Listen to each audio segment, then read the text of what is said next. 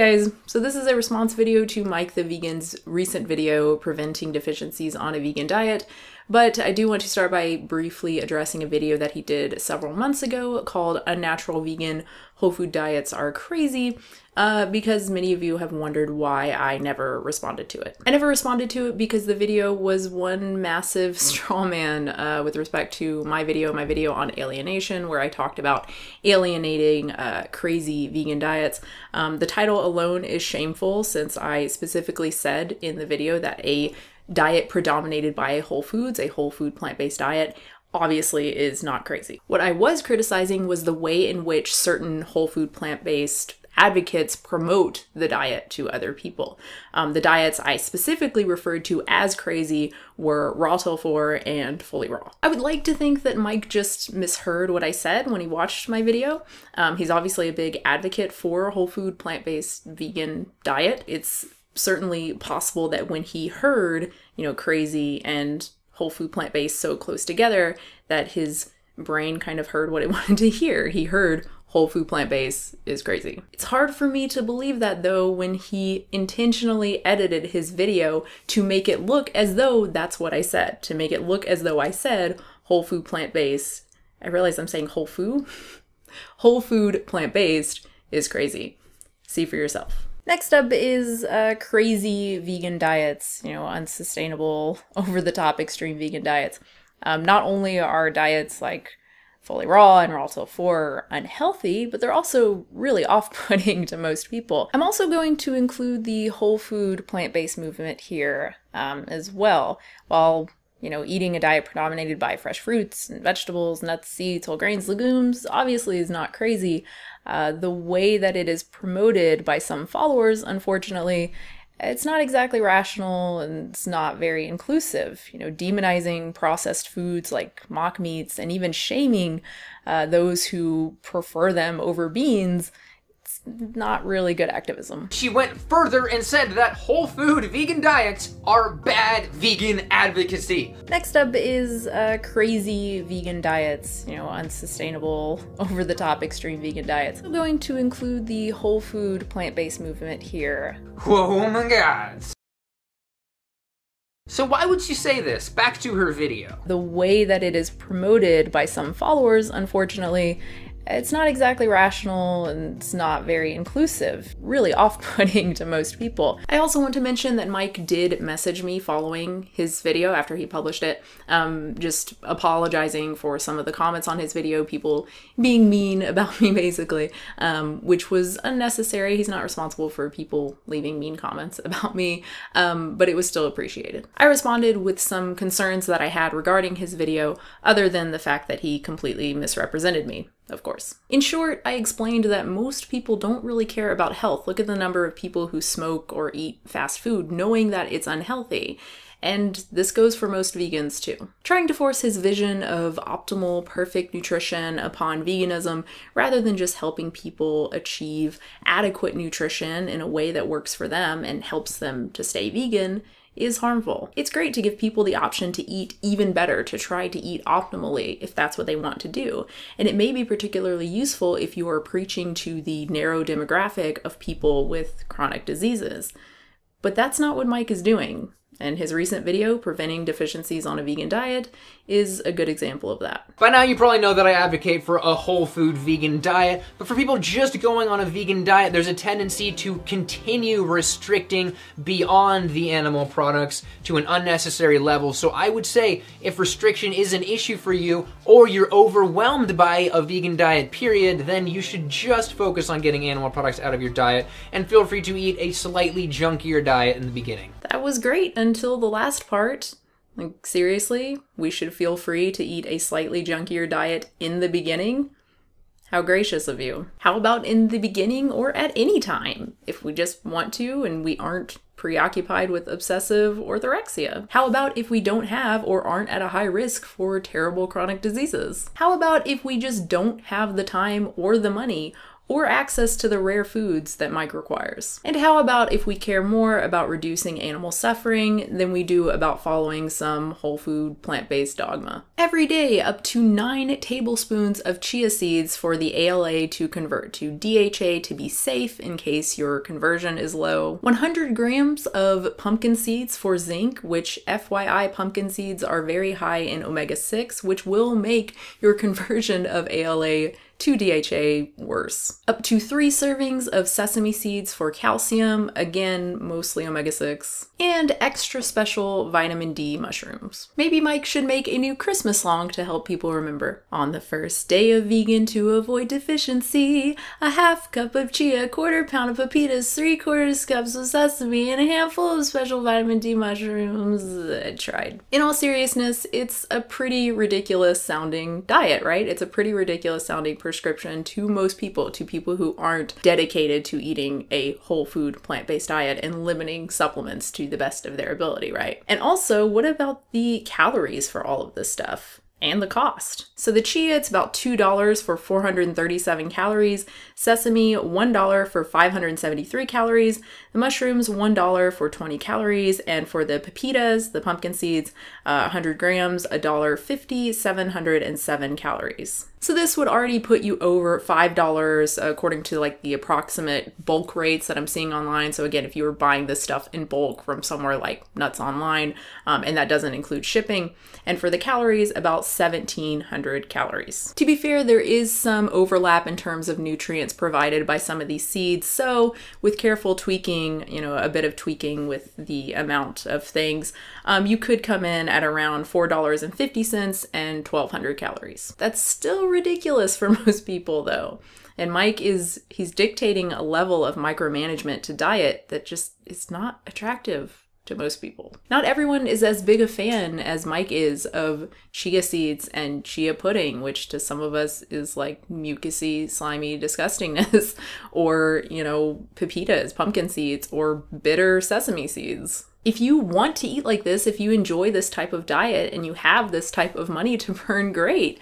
I'm not going to say that it's not healthy. It can be nutritionally adequate if you plan carefully and if you're not shy about eating large amounts of superfoods as the majority of your diet. Being charitable, all I can say is that Mike rivals Christina at being the most privileged vegan on the internet. He just doesn't seem capable of grasping the concept or he just doesn't want to grasp the grasp the concept that many people don't want to spend tons of time and tons of money micromanaging their diet so that they can get every last nutrient aside from B12 from whole food sources. It's not easy, it's not cheap, and according to the actual science and experts, there's no reason to believe that it's necessary. Quick point I am not a dietitian, which is why I will be reiterating the recommendations of dietitians and quoting the nutritional research, which, as usual, will be linked below. By that, he means quoting nutritional research that he has cherry picked and is not qualified to interpret, and then ignoring the actual advice of dietitians who are qualified including the very ones he cites. Let's start with the most common concern protein. After a lifetime of being told that protein is super important, people tend to get triggered when I say that protein is really not a concern here, but please let this sink in. Vegans, on average, have higher blood protein levels than omnivores. Even if that were true, it's not an impressive claim when you compare it to a standard Western diet full of junk food. But you have to remember that veganism has a very high dropout rate.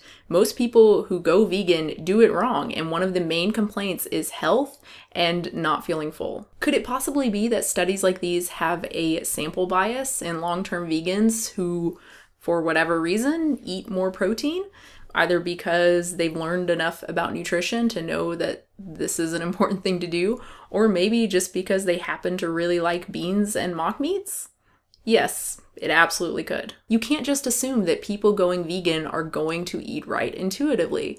Most of them apparently don't. And furthermore, that a protein deficiency is only really possible with starvation or an extremely restricted vegan diet. It's entirely possible with intuitive eating, as I have shown in the past. Not all of the people I showcased in that video are eating extremely restricted diets. Some of them are just eating what they want. While we never see vegans with overt protein deficiency, it doesn't mean that all vegans consume optimal amounts. Marginal or suboptimal protein status can take a toll on health, affecting bone and muscle strength, for example.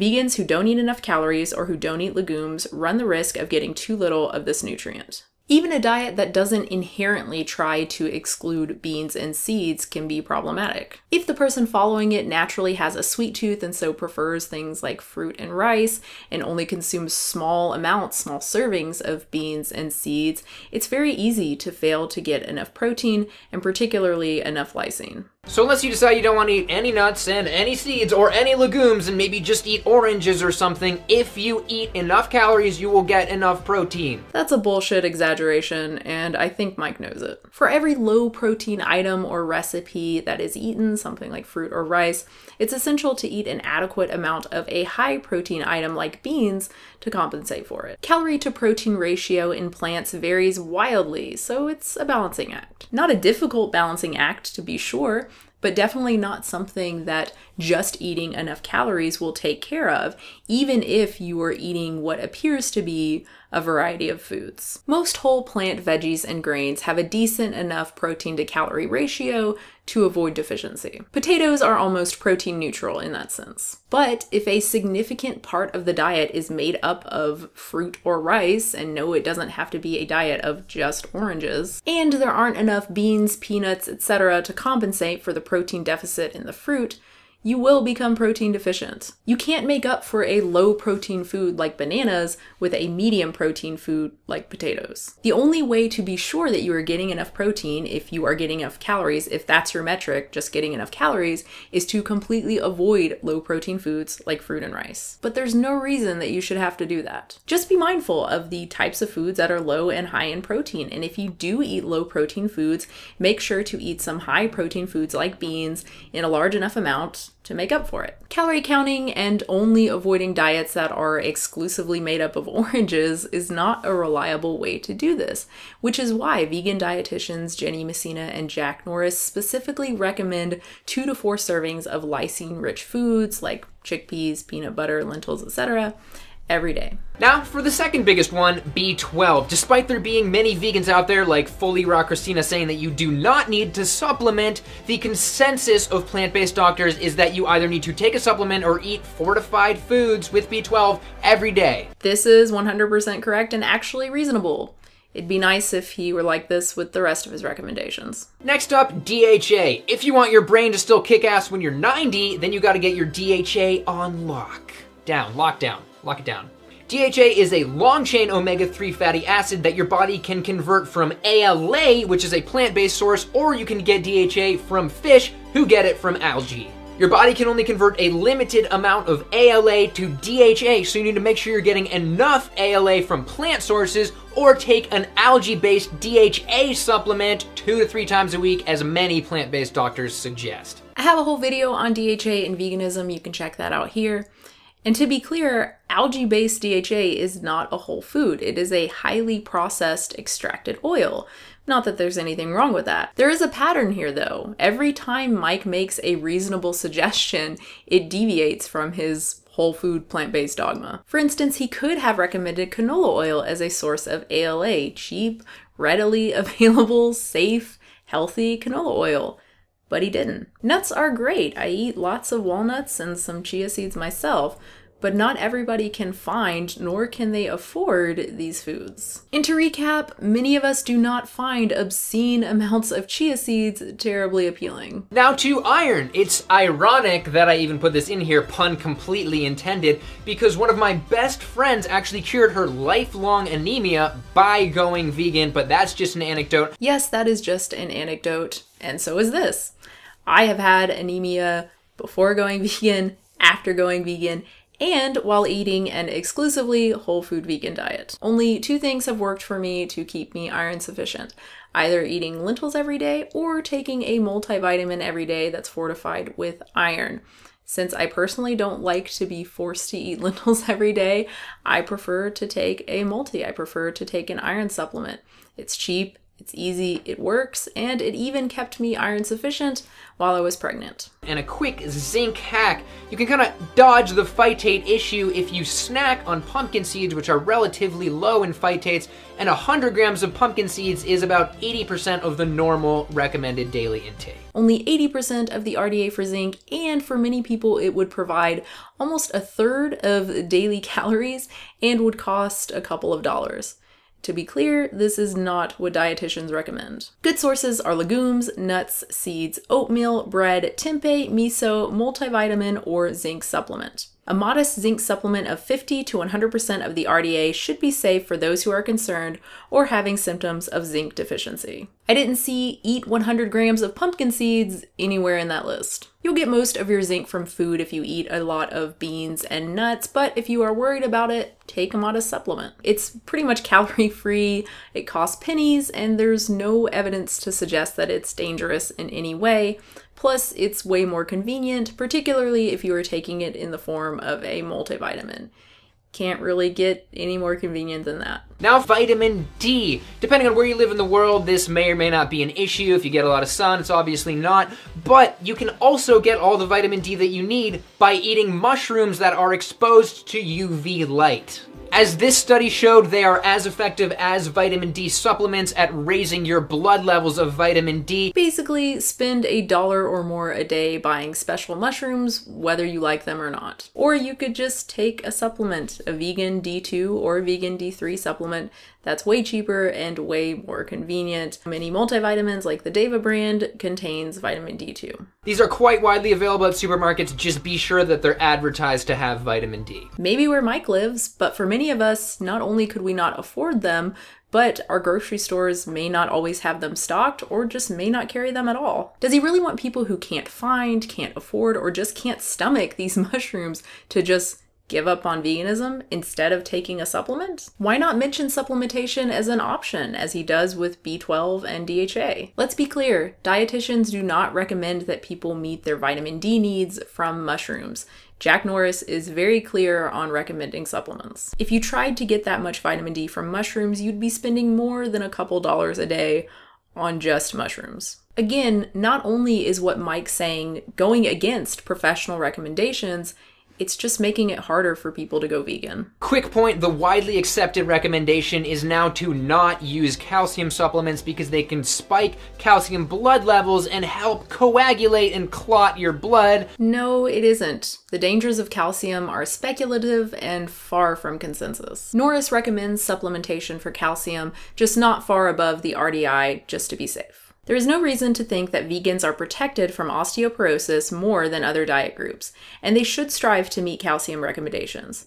Although it is possible to meet the calcium recommendations by eating greens alone, the average vegan probably will not meet recommendations without drinking a glass of fortified drink each day, eating calcium set tofu, or taking a 250 to 300 milligram supplement, in addition to eating an otherwise balanced diet.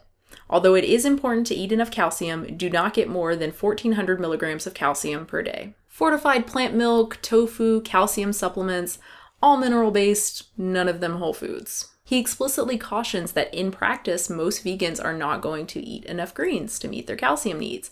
I know I sure as shit don't. It's just much easier and safer to take a modest supplement or to eat a little bit of fortified food like a non dairy milk that's fortified with calcium if you aren't going all out on the greens. Finally, if you really want to cover yourself and you are so fortunate, why not get a blood test every so often? How about instead we follow professional advice and take a few safe, cheap, effective, convenient supplements? With those concerns taken care of, you will no longer have to be concerned with eating cholesterol, eating heavy metals in fish, eating hormones in dairy, and you can enjoy lower rates of diabetes, obesity, hypertension, and many more diseases. All while lowering your environmental footprint and no longer paying for bad things to happen to those cute little animals that you love. Maybe I'm overanalyzing it, but to me, that just comes across as incredibly patronizing to ethical vegans. So I want to end this video very briefly just talking about uh, Joel Fuhrman, Dr. Joel Fuhrman, who actually led me to veganism. Maybe I'll do a separate video talking about my journey to veganism. I'm no big fan of his for various reasons, but I did really appreciate in a recent interview, I believe it was with uh, John Kohler, when he said he made clear that his diet is for people who want to eat the healthiest diet possible. He fully admitted that one can be healthy and reduce the risk for major killers like heart disease, significantly reduce the risk for things like heart disease without going to such extremes as what he promotes. Bite Size Vegan is another good example. Emily has an utterly ridiculous lettuce and banana peel diet, but she is clear that you don't have to eat like her to be vegan and that there's no wrong way to be vegan. While I would argue that there is a wrong way to be vegan if you aren't getting enough essential nutrients and then relapse because of it, the sentiment is well received. The bottom line is that Mike's recommendations are not necessary for health. They are recommendations for people like himself who want to avoid supplements as much as possible. But instead of being upfront about that, like Joel Fuhrman or Bite Size Vegan, Mike presents his diet as appropriate for everyone. It's clearly not. It's unnecessarily restrictive, it's expensive, and it's difficult to follow. So that's it for this video. I really hope you enjoyed it. Of course, if you have any comments or questions, you can leave it down below. And I almost said to subscribe, subscribe, but I'm going to try not to do it anymore, but I just did it. So what are you going to do? Thanks again, guys. I'll have a new video very soon. Also, I know many of you might be uh, waiting for the second follow up. Yes, the second follow up, which will be on alienation. It will be up very soon. I just thought this would be a nice little break in between. So, yeah, stay tuned for that.